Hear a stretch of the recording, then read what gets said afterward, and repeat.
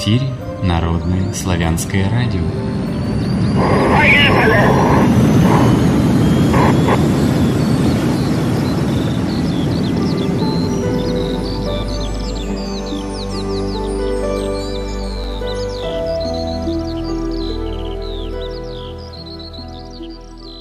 Здравствуйте, дорогие наши зрители, слушатели.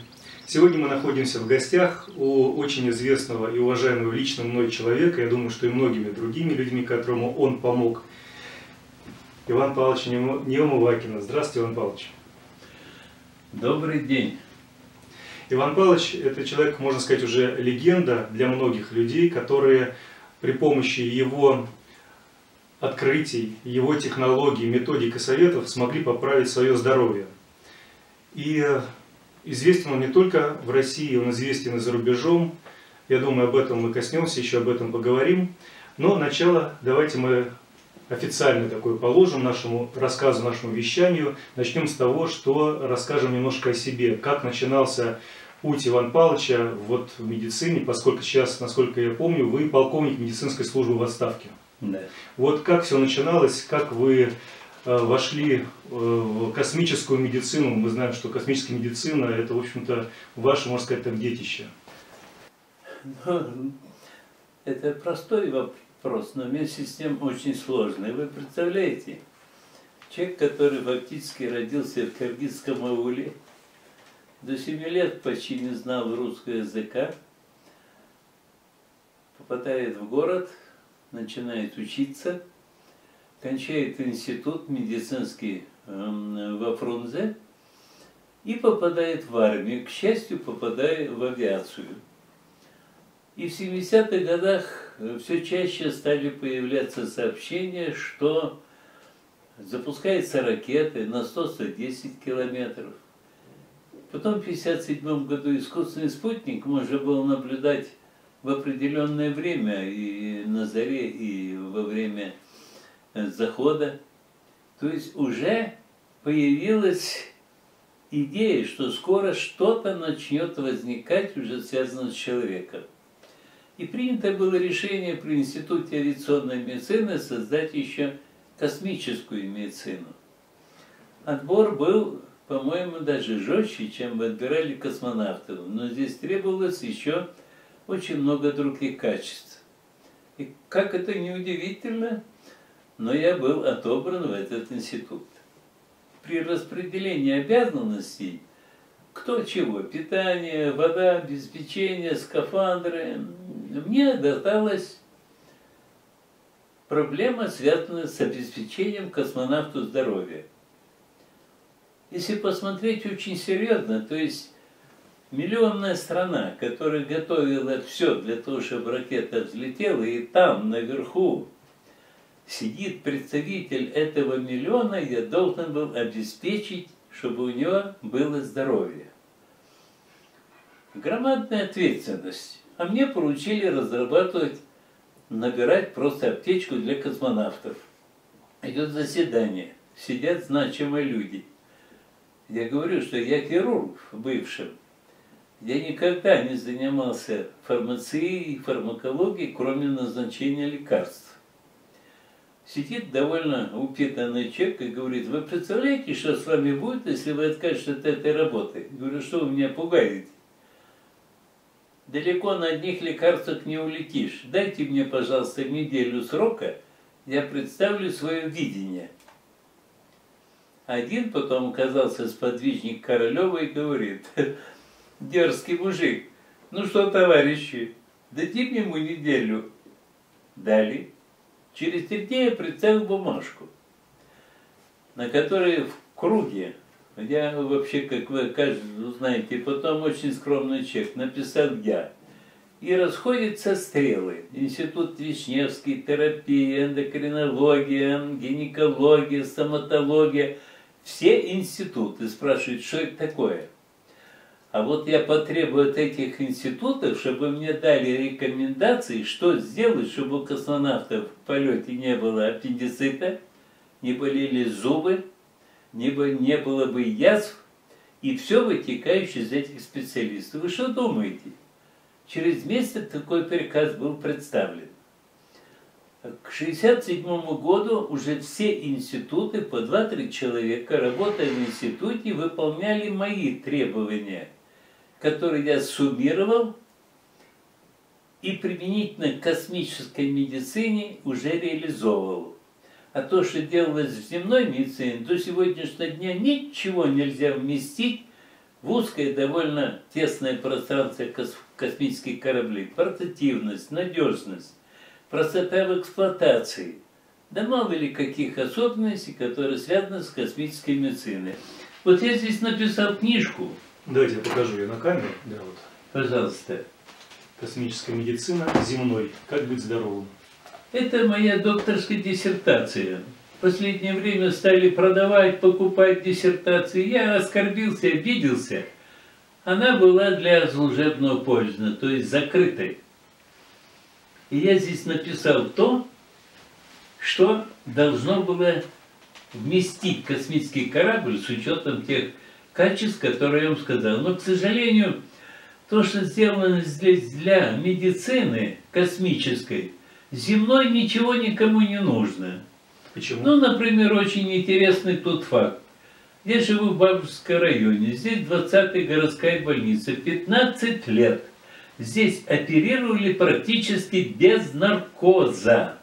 Этот метод был разработан для космических кораблей, но, к сожалению, пока это рановато. Но он уже готов. Вот он.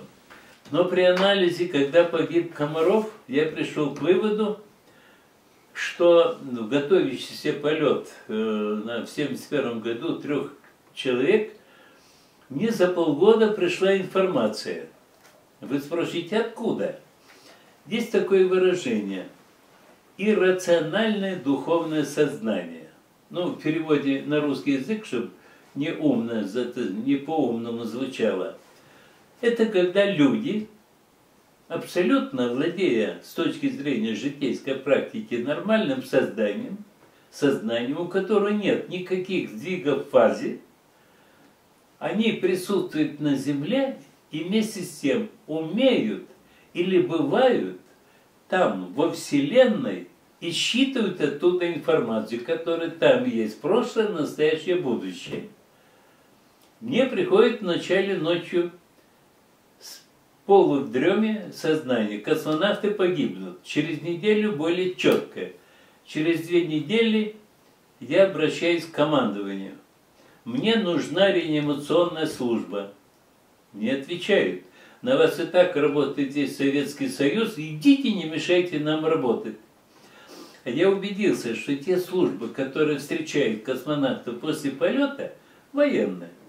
Нормальные э, специалисты, но у них рундюки петровских времен, они никогда не встречались с крайним состоянием человека, который вот между той и этой жизнью, ну, реанимация, будем так говорить, или уже тот, который погиб.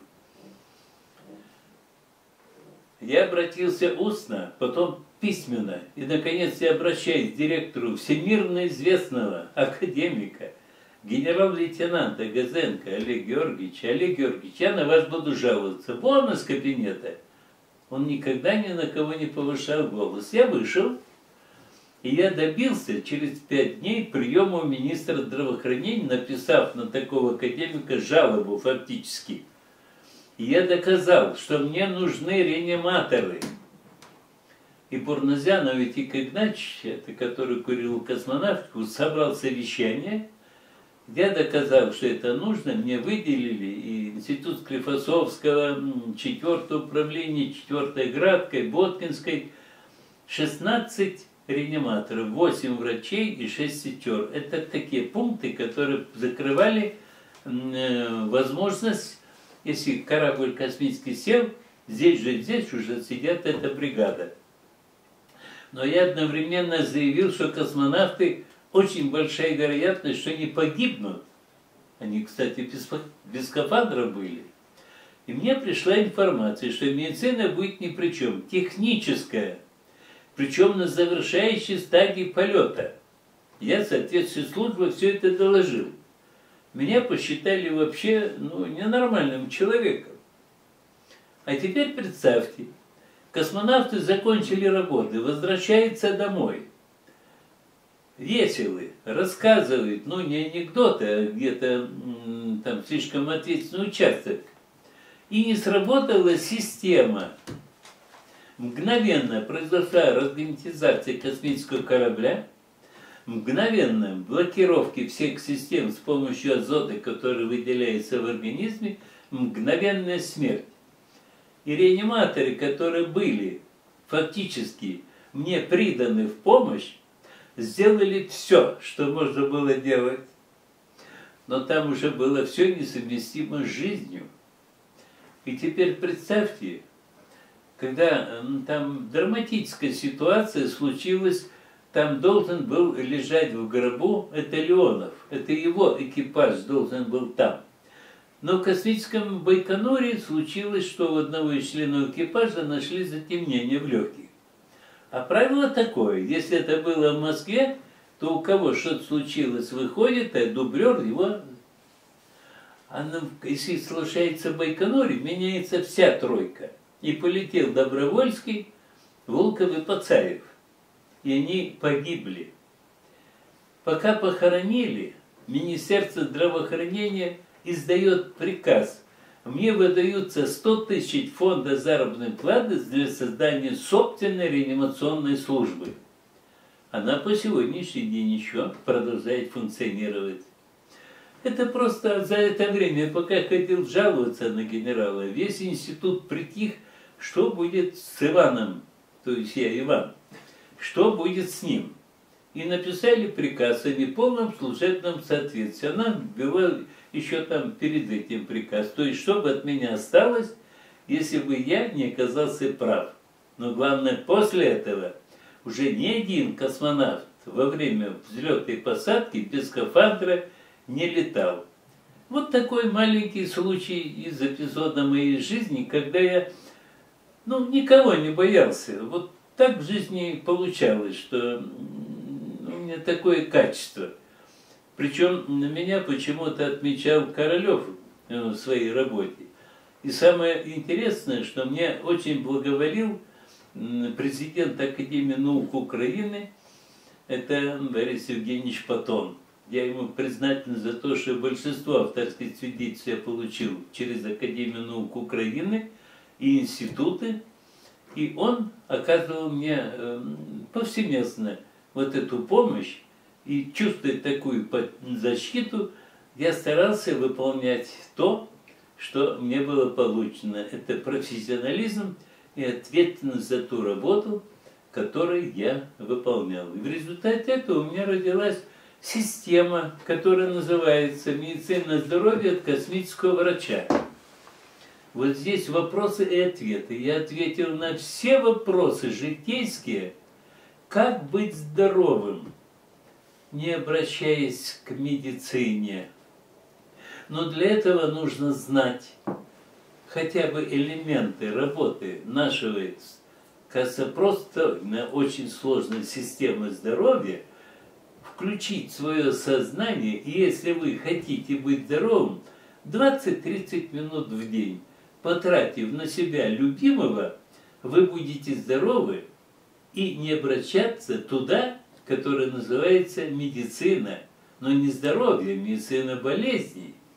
И как вы должны чувствовать себя все время, независимо ни от чего. И жить столько, сколько вам отведено свыше жизни на этой земле.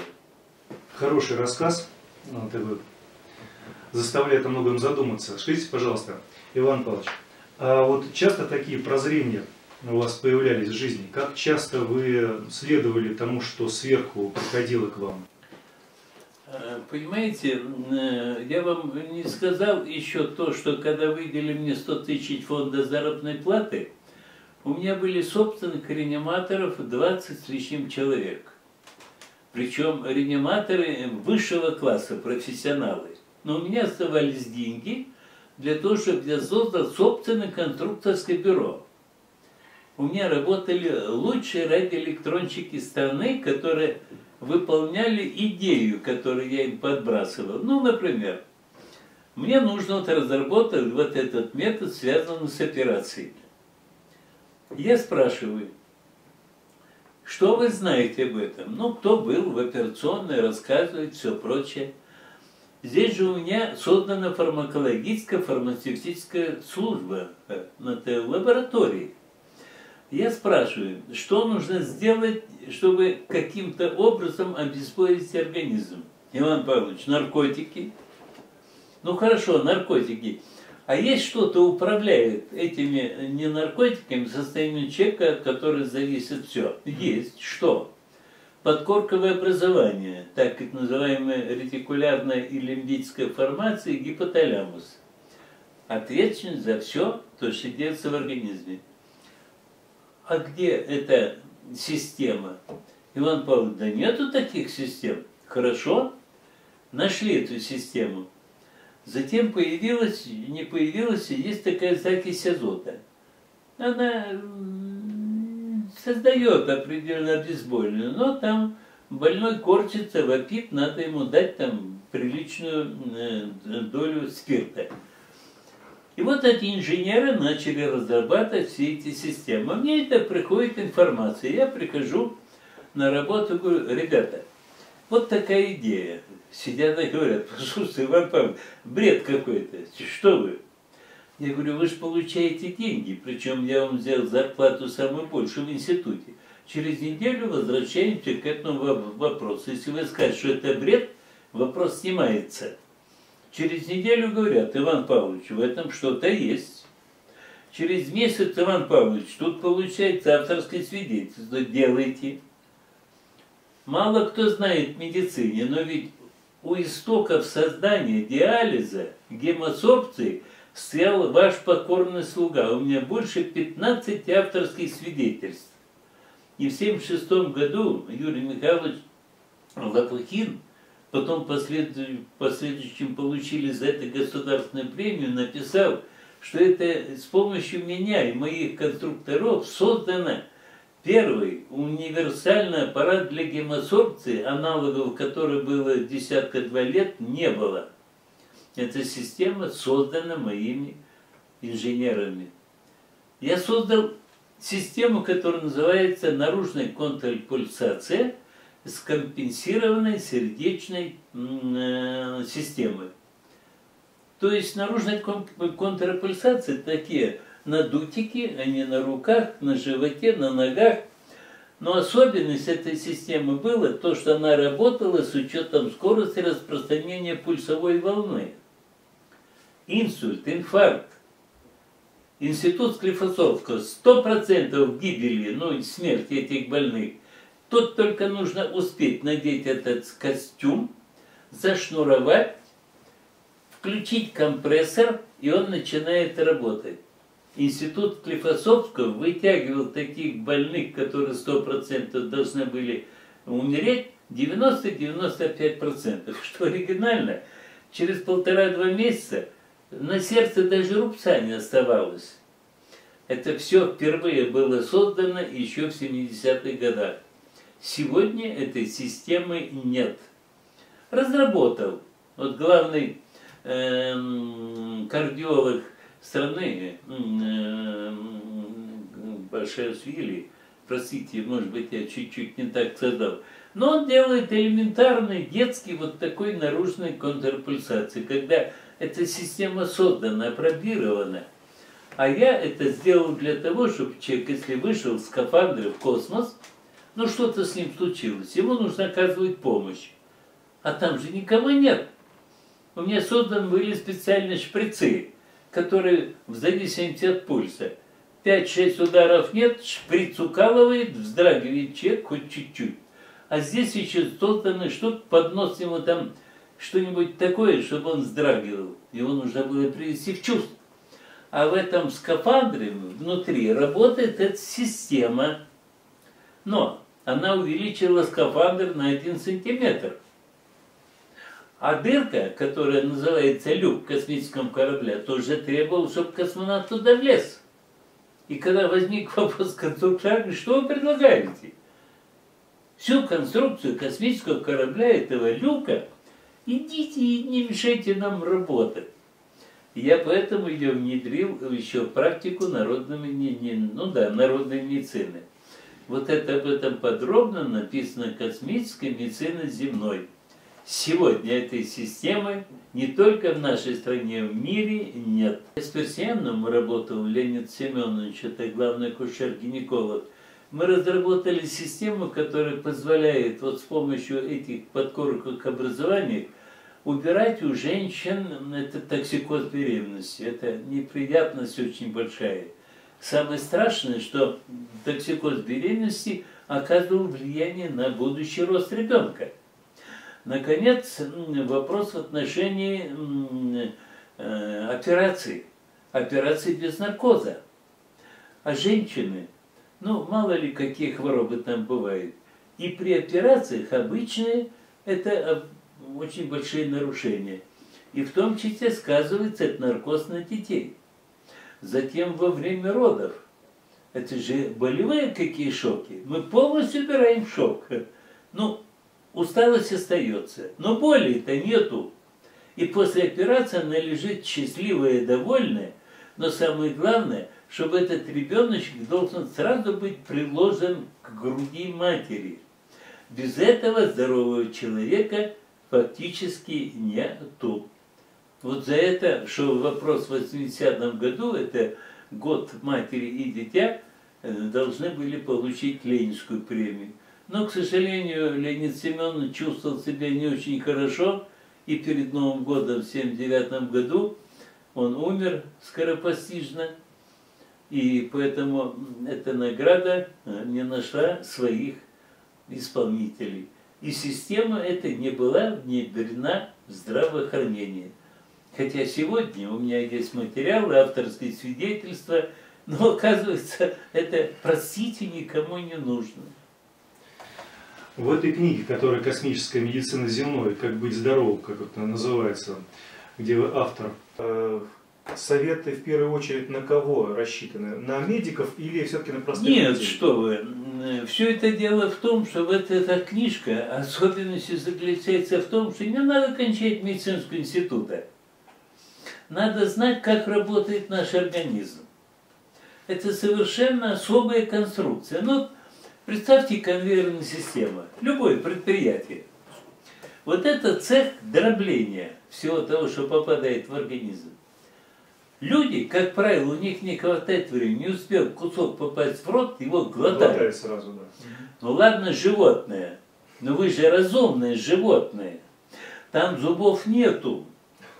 Вы должны пищу так разжевать, чтобы она потеряла специфический вкус в это время идет насыщение за счет запаха, вкуса этой пищи. Вы ее прослюнявливаете, она становится 36 градусов, оптимальная температура, и вы ее глотаете. В это время компьютер дает указание желудку выделить соляной кислоты столько, сколько там было у вас блюда. Что там, каша, хлеб, кусок мяса или там котлеты и еще компот. Так вот, мясо – это чужеродный продукт, чужая генетика, чужая энергетика, все что угодно. Для него нужно очень много соляной кислоты, ну, чтобы разложить полностью. А вы проглотили кусок, соляная кислота туда пройти не может, но самое страшное, что вы во время еды даже одну столовую ложку жидкости выпили, не дай бог, после еды, когда чай, компот, кофе, все что угодно, вы разбавляете соляную кислоту, ее не хватает для переваривания пищи, дальше она с лишним содержимым соляной кислоты попадает в двенадцативерстую кишку, а там печень поджелудочная железа вырабатывает мощную щелочь для нейтрализации кислоты. В кишечнике ее не должно быть. Сегодня не должно, завтра треть, а потом эта кислота проникает уже в желудочный кишечный тракт. Все. Человек болен.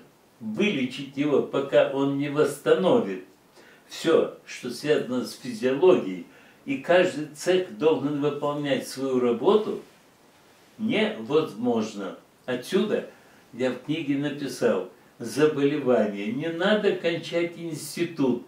надо знать, как проходит пища с одного конца до другого, какой раздел за что отвечает и что там должно существовать, особенно с учетом кислотно-щелочного равновесия. Реаниматоры об этом знают, но врачи понятия не имеют. В этом беда медицины всей и всех специалистов. А их специалистов больше ста наименований. И каждый специалист занимается своей системой. А соединить все это мне удалось с помощью вот этой космической медицины. Царство Небесное Александру Александровичу Вишневскому, умнейший был специалист и ну, Бог, хирург от Бога. И когда я поставил вопрос, что мне делать с космонавтом, он говорит, вырезать аппендикс. Как вырезать? У меня справка Институт Склифосовска. У здорового человека вырезать аппендикс нельзя. Через год, через год он больной. Это оказалась эндокринная железа. От этого тросочка зависит, как работает кишечник. Тогда возник вопрос. Александр Александрович, вы соберите терапевтов, эндокринологов, э, кто там еще там, проктологов, которые покойников там занимается. Выработайте мне рекомендации. Когда я столкнул лбами, за 2-3 месяца ведь они мне выдали рекомендации. И за 2-3 месяца до полета космонавты выполняли эти условия. Прошло больше 50 лет, ни у одного космонавта там аппендицита ведь не было, а на Земле-то были. Это вот решение вопроса, как сегодня так называемые специалисты, не профессионалы, специалисты, каждый на Земле занимается своим делом.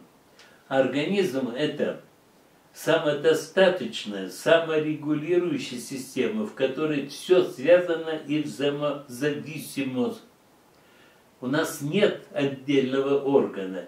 Это часть целостной системы. Почему мы называемся целители? Мы рассматриваем как целое существо. И в этой книге подробно в этом расписано. Причем тут зуб – причем тут глаукома? Да нету глаукомы. Я написал книгу «Болезни глаз». Глаукома к глазу никакого отношения не имеет. Это венозная недостаточность, которая возникает вот здесь, в шее и воротниковой зоне. А в мозгу есть болезнь Альцгеймера, Паркинсон, Бехтерева, рассеянный склероз, шизофрения. Там десятки заболеваний. А оказывается, заболевания, которые все вот здесь, зависит венозная недостаточность. Об этом подробно написано в этой книге. Значит, тем специалистам, которые каждый предлагает различные заболевания, все это, ну, не фикция, конечно, чуть-чуть что-то облегчает, что-то восстанавливает. Но вылечить-то невозможно этих больных, пока не узнаешь, физиологию процесса, а я ее знаю так, как сегодня мало кто знает даже из врачей, в том числе физиологов, которые, например, не могут сказать, что воду можно пить за 10-15 минут до еды. И можно только, если постная пища, ну час, а так полтора, если мясо покушали, два часа после еды. Не надо мешать цеху переработать полностью соляной кислотой здесь пищу, которая должна быть микроскопически, а дальше уже на уровне микробных там тонком кишечнике, где находится как раз вся система, в том числе иммунная система. Нет, три четверти. Одна четверть еще в других органах. Иммунная система находится в тонком кишечнике. Кстати, где вырабатывается моя любимая перекись водорода – но об этом врачи же не знают. И те, та же рупор Малышева по своей программе берет кусок мяса, выливает трехпроцентную перекись, оно шипит, оно горит, и говорит, вот чем занимается профессор Немывакина. Ну уж куда уж дальше, этот рупор официальной медицины, абсолютно не знающие процессы физиологии, она судит о том, чем занимается профессор Нюмывагин. А сегодня вся Россия пьет перекись. Ведь волосы у них восстанавливаются, болезни у них проходят. Я ничего не делаю. У меня вышла книжка «Перекись водорода», да и вы миллионы знают людей. А сода, которая сегодня является, не сегодня, а основным компонентом крови, поддерживает кислотно-щелочное равновесие раз, убивает там всех паразитов, которые попадают в кровь, разжижает кровь, устраняет проблемы, связанные с тромбом, тромбообразованием, еще многими многими факторами. А меня обвиняют сегодня, что я убиваю людей, заставляю с, ложками кушать или съедать эту соду. Правильно, на голод, не на голодной, на, с холодной водой. Но ведь Рен-Тери передавала вот не так давно, целый час, что это нужно пить только с горячей водой. Потом немножко судить. И пить только натощак, ничем не смешивая 15-20 минут до еды. И вот сода это оказывает такой генерализованный эффект, который не снился. И не нужно никаких лекарств. То, что называется атеросклероз, и оз, и цирроз, и что там еще, которое называется и анкилозы, и суставные все эти боли. Все это элементарно просто, но это физиология. Никакой химии. Вот почему, когда вы прочитаете медицина здоровья космического врача, получается, что никаких лекарств вам не нужно. Это природа. А еще вышла книжка «Фрактальная медицина». Ну, сейчас очень много видов. Я подумал, ну а что, я что ли хуже всех остальных? Я так назвал фрактальную медицину, а в переводе на русский язык нарушение законов природы – болезнь. Не нужно нарушать природу. Природа, я имею в виду вся Вселенная. Потому что Земля – это живой организм. Мы не только живем здесь, на этой земле. 1 декабря 2014 года в Доме ученых я читал лекцию. Послушайте. Основные законы физического тела, вот этого, данного нам во временное пользование на планете Земля. Я 4 часа, меня там не отпускали, и все получили ответ на все вопросы, какие их волновало. 10 марта я буду читать там лекцию, это «Духовность и здоровье». Еще более уже законченная, завершенная работа, касающаяся взаимосвязи человека со Вселенной. И кто наш папа-мама? Это получается комплексный взгляд на жизнь. Не просто так физиология одна, а именно комплексный взгляд. Вот вернуться, если к книге «Медицина э, здоровья» и «Космическая медицина земной», в первую очередь, это получается, это надо врачам изучить, которые пытаются лечить людей и при Конечно. этом вообще ничего не понимают о том, как устроен человек. Когда... Их, на трупах, их на трупах там научили резать что-то там. Э, Все правильно. Там систему, которую меня тоже учили. Но я сегодня, меня пригласили в третий стоматологический институт э, студентам 5-6 курса прочитать лекцию. Профессора возмутились, я подрываю их авторитет. А молодежь буквально с вот такими открытыми глазами слушали. И, а что нам делать? Все правильно, физиологии им говорят, фармакологии говорят, хирургия осваивает, различные специальностями осваивает, но они кончают институт, еще нужна ординатура. Вот я сегодня связан с одним ординатором, семья у него, кончил он пять лет, два года ординатуры, 6900 рублей получает. Что это, это такое? Это в Москве? И при... В Москве, да. И причем, что же получается? Что врачи не знают вот этой взаимосвязи. Я это различаю из специалистов следующее. Первое, это ремесленник. Он кончил институт, еще ничего не знает. Начинает жить, работать по какой-то специальности. Он становится специалистом. Но специалист – это человек, который выполняет вот свою работу. А что такое профессия, профессионал? А это уже человек, который, как мой учитель один говорил, нужно знать ширше и глубже свою специальность, как она взаимодействует с другими органами, системами, и чтобы ваша специальность исчезла. Ну, вы же, наверное, слышали, я написал книгу «Пути избавления от болезней». В книге написано, которых нет. Гипертония и диабет. Ну, нету гипертонической болезни, но ведь институты созданы. И все врачи знают, что гипертония, она связана с тем, что 40 различных симптомов различных заболеваний органов вызывает повышение кровяного давления. Значит, такой заболевания нету. Но я в книге написал, что сделать, чтобы за 2-3 недели вот эта гипертония исчезла вместе с лекарствами. У меня в Кирове работает оздоровительный центр. Три недели специальной методики. Гипертонии уже на 10-12 дней нет, лекарство уходит в прошлое. Кое-что остается. Но мы учим человека, если вы хотите быть здоровым, делайте вот это, вот это, вот это. Вот и все. Но я подрываю авторитет. Вы же представляете, каких направлений науки? То же самое в отношении диабета. Сложное заболевание. Никто не говорит. Здесь режим играет очень большую роль. Но ребенок, не успев родиться, его сразу сажает на э, инсулярный аппарат, на инсулин.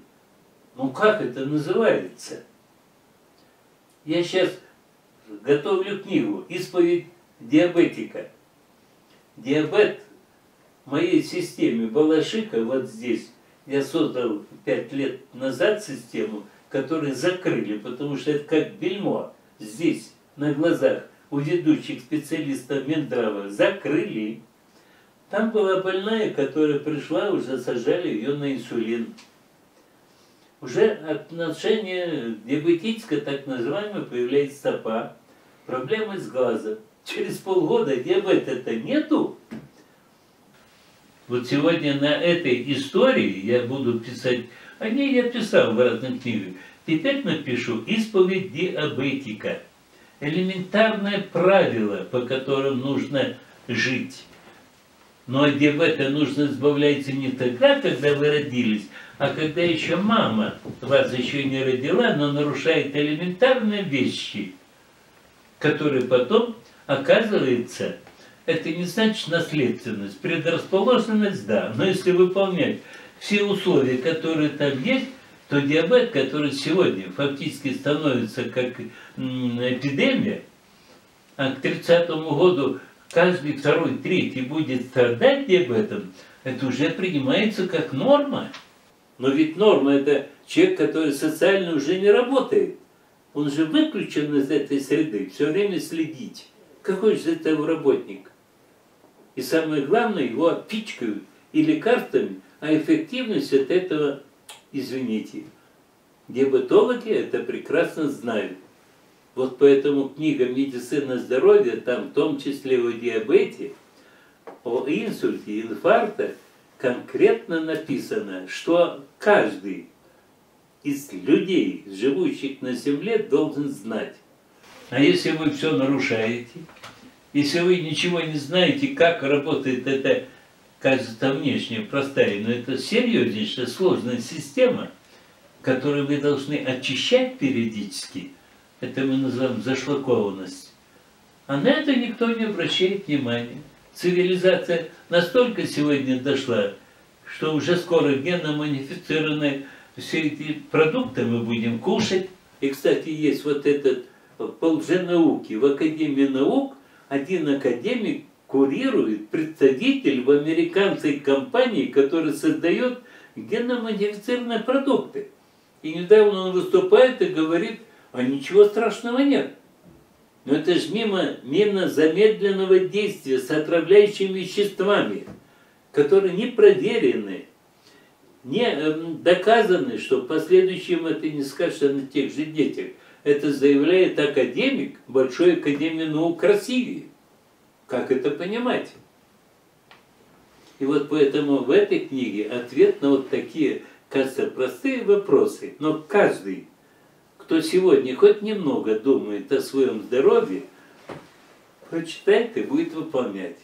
Потому что здоровье, когда есть, Вы любые тяготы можете воспринимать уже не так, как больной человек. А он сегодня никому не нужен.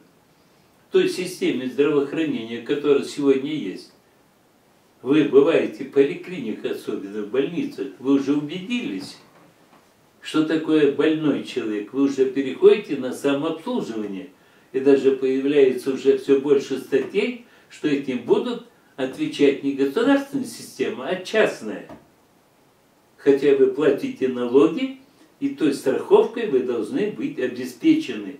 И в соответствии с Конституцией 41 статьей. Все обеспечено бесплатно на федеральном и региональном уровне. А что получается? Ответ вы сами найдете. Как хорошо, что я в поликлинике не хожу уже много лет. Вот я сейчас смотрю оглавление книги «Медицина здоровья». И здесь вот воде посвящено ну, понятно, что перед этим идет э, жить долго, рассказывается активно, без дряхлости, без болезней, создание космической медицины, дальше кислотно-щелочные равновесия, окислительно-восстановительный потенциал, и дальше вода. И воде посвящается почти 40 страниц. Это можно так назвать прорыв да, для понимания человека, что вода – это основа здоровой жизни. Причем не просто вода из лужи, а еще же вода должна быть специально подготовлена, наверное. Ну смотри, два дня назад академик выступает и говорит, да что вы помешались на воде? Ну, пейте, сколько вам хочется, ничего страшного нет. Это академик, врач по образованию. Если бы можно было вот через экран телевизора ну, сделать кое-что с этим академиком, честно говоря, я бы сделал. Он элементарно не знает, что наша кровь это 98% воды.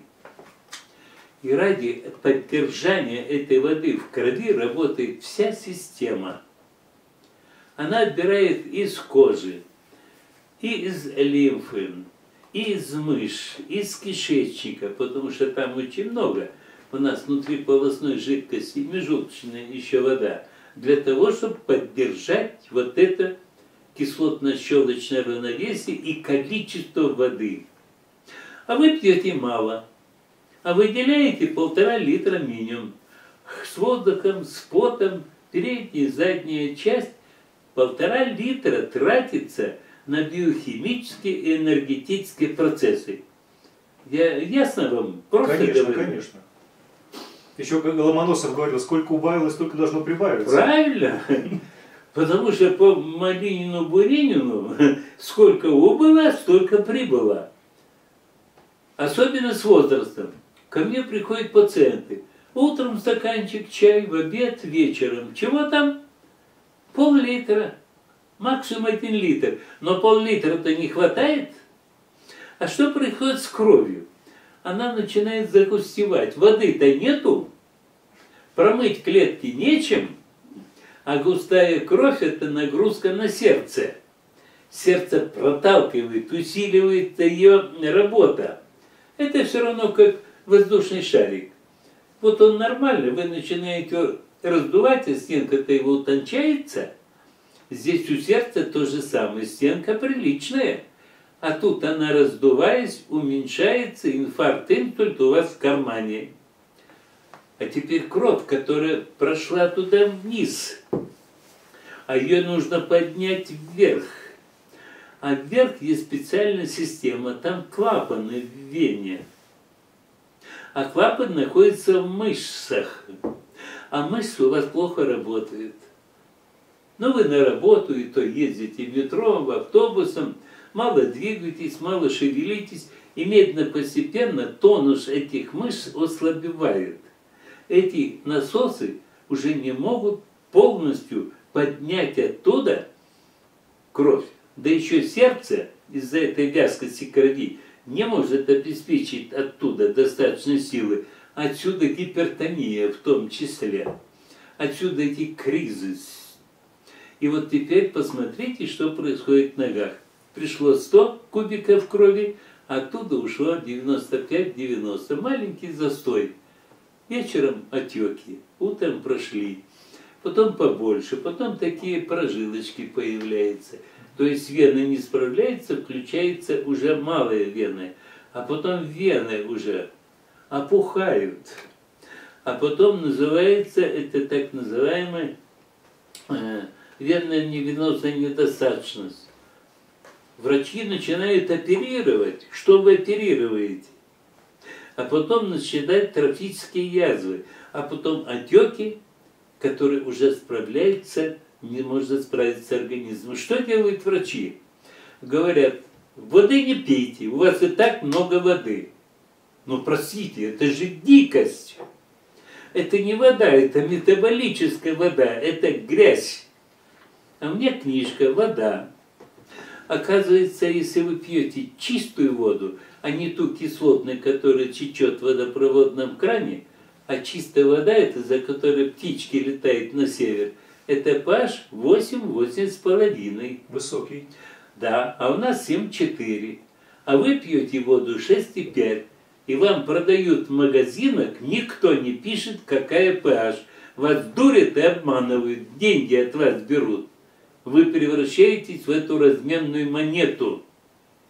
Я писал, я говорил, почему разрешает продавать такую воду? Она чистая, но она грязная с точки зрения pH среды.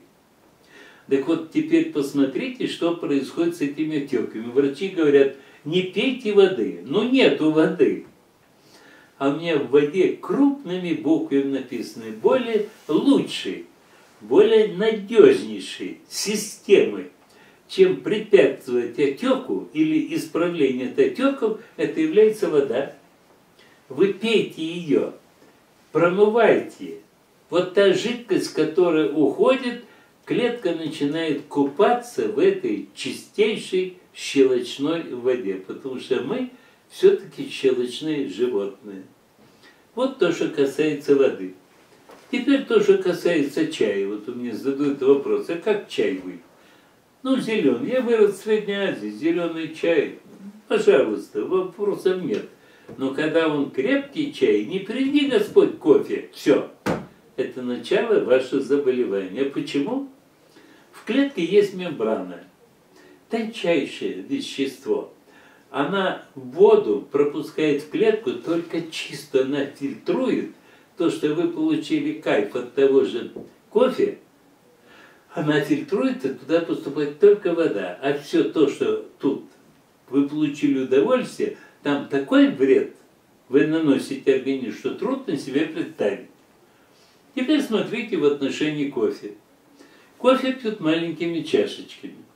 Это сильнейший тоник, это сильнейшее наркотическое средство. И тот, кто принимает это кофе, в два-три раза чаще страдает сердечно-сосудистыми заболеваниями. Но большей частью те кофе балдеют, еще и закуривают сигареты, папиросы, особенно мадамы. А у них сердечно-сосудистая система немножко слабее, чем у мужчин. И что ж получается? а вы получаете, что вместо двух-трех уже 4-6% чаще сердечно-сосудистое заболевание. Но самое страшное, что от этого кофе человек, ну, активность увеличивается, сна нету, а, как правило, это 8-9 часов после работы сидят, отдыхают, гутарят, кто чего что, а оказывается, есть такой гормон мелатонин. Это шишковидная железа, эпифиз, центральная система, управляющая всей гормональной системой организма. Она вырабатывает мелатонин. Мелатонин – это гормон роста. Если вы пьете кофе, то тогда мелатонин перестает работать. Вы полностью его глушите. Сегодня, завтра, послезавтра – и еще если вы принимаете вот так вечером. А мелатонин начинает работать с 11-12 ночи до 5-6 часов утра. Это гормон роста, мы растем только во время ночи. Это работоспособность, это кровяное давление, это все жизненные процессы. Это именно работает вот этот гормон. А вы его, простите, с помощью чего? кофе. И, кстати, кофе натощак пить ведь нельзя. Кофе – это тот же мясной бульон. А для мясного бульона нужна повышенная соляная кислота. А если у вас кислотность повышена, значит вы усиливаете этот процесс, язва желудка, двенадцатиперстные кишки вам обеспечена. Вам это надо? Говорит, а как же пить? Вот растворимый кофе есть. Ну, это чуть-чуть поменьше только вреда, чем то кофе, который есть. Но все равно вы приучаетесь, привыкаете. Рано или поздно вы потом начинаете понимать, что крепкий кофе, ой, получше. Усталости нет, расслабленность. Но мелатонин исчезает. Отсюда последствия этого приема. То есть что теперь делать? наркотическая зависимость. Вот смотрите, в доме, что мы не часто, но иногда берем 100 грамм семечек подсолнечной, ядершек, а не с крупой, и 100 грамм кофе. И на блендере мы все это смешиваем. Однородная масса. И 2-3 чайных ложки на стакан, причем не кипятка. Запомните, кипяток – это вредное вещество. Потому что вода – это сложная энергоемкая система. И когда вы кипятите воду, все, что в ней содержится, там фактически зафиксируется. И чтобы вода начала нормально работать, надо раскурочить вот эту зафиксированную ионное содержимое, и чтобы она проникла в клетки оказала должный эффект. Сейчас очень умно поступают чайники, такие есть, пищат 60-78 градусов. Они включаются. Вода должна быть горячая, особенно для соды, там растворять. А потом вы остудите до того, чтобы вам не обжеться, и принимайте, и кушайте. Так вот, когда эти семечки с кофе вы один к одному, 100 грамм того другого размешаете, и вкусно, и полезно. И фактически там происходит, ну, не нейтрализация, запах кофе остается, но вреда чуть-чуть. Ну, почему бы не использовать, если уж так любите этот кофе, но вам никто нигде это не делает, потому что это нужно возиться, а здесь нагрели, быстро размешали, этот, да еще вы кипяток, он там еще вы обжигаетесь, и вы хлебаете. Так в этом медицине здоровья я об этом подробно пишу. Вы сами себе роете ту яму, возле которой, выходя в больнице, вас привезут как кучком к этой системе, все. Вы попались, и теперь вы оттуда уже не выйдете. После этих лекарств, которые ядовитые, я считаю, ну, вы будете жить. Но причина заболевания-то остается, и поэтому в книге, которая написана «Медицина здоровья от космического врача», я считаю, что вот за эти три месяца человек начинает понимать, что лекарство не спасение, это нарушение банальных природных кстати, травки, пожалуйста, овощи, фрукты, салаты или там винегреты, пожалуйста. Но зачем все остальное? Единственное, когда говорят, вы что, против всех лекарств? Нет. Есть срочные. Когда, извините, нужно оказывать, тут уже не до жизни. Это пожар. Я не отрицаю, все это нужно. Но 90%-то лекарств, извините, нет одного втыка работает. Единственное лекарство, которое, я же говорю, что я довольно скромный человек, за что удостоен государственной премии, называется фенибут. В космонавтике стрессы не переведи Господь. Ну, представляете, ему нужно выйти в открытый космос, открывается люк, там такая веревка есть фал.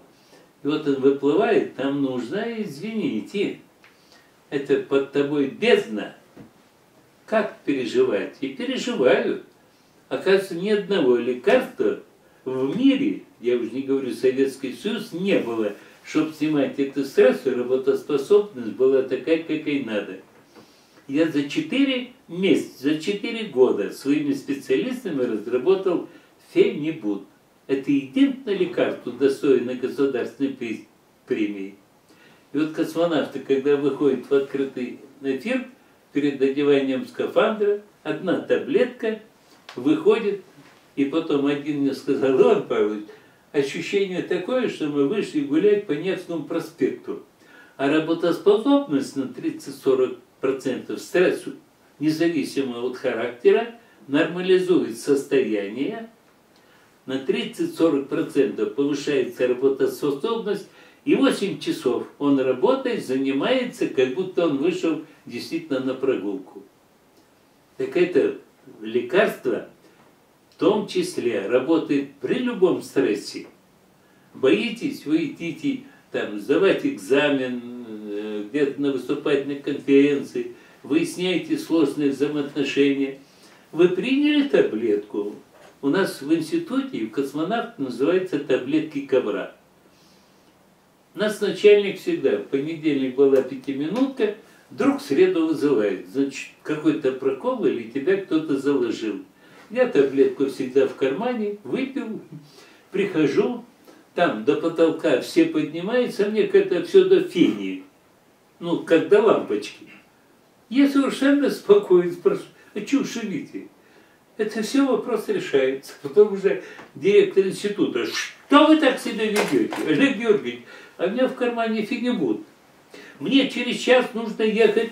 Олег Георгиевич, тихо, вот вам конвалюта, Сейчас, пока вы доедете до министра или кого там нужно, вы на этой конференции или заседании будете, как будто вы самый умный человек, все остальные дураки. Хорошо, давайте. Это называется фенибуты. Только покупайте рижского производства. Сейчас уже вот этот дженерик. Уже в России мы, бывшие подчиненные, кое-что схимичили, но не сделали финибут тот, который вложен в получение авторское свидетельство. А онлайн-фарма Рига – это то, что вам надо. И этот работает, но немножко послабее. Только на ночь не принимайте. Это единственный дневной транквилизатор в мире. Ночью, если вы хотите работать, пожалуйста. Но если вы вечером 7-8 часов приняли, ночь спать не будете. Это вы запомните.